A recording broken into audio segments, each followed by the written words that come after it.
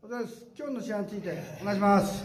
今日の試合も何もないよえ？えねえスター・ウォーズ知ってるかスター・ウォーズ。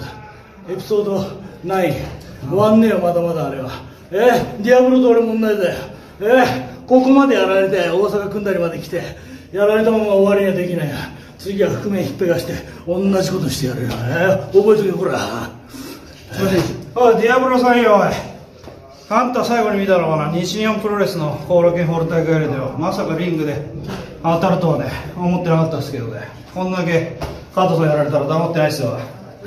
いつでもどこの団体でもおいいつでもやってやるよ。えおめえらくだらねえこと言ったらどうすんお前面白いコメント残してみろほら。えー、コメント力ゼロだからなおめえは。えー今日の試合についてまずお願いします。おい加藤。加藤おい。全然物足りねえなおいおい。おい。その前に俺たちの秘密兵器レザーフェイス。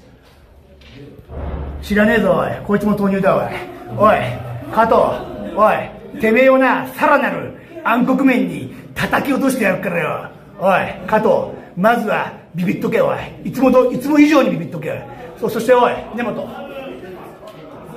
おい、舐めてんのかあんなんで疲れもしてねえよ。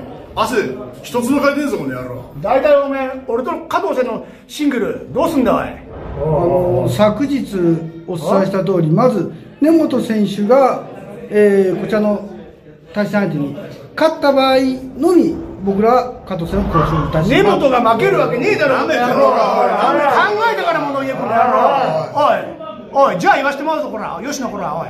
おい、てめえ、根本が当たり前に勝つ。そして、当たり前に加藤戦をものにする。そしたら、その日の、てめえんとこの興行のマッチメイク権、俺が逃げ出してもらうからよ。おい、どうだ、おい。おい、てめえが全然動かんかぞ、おい。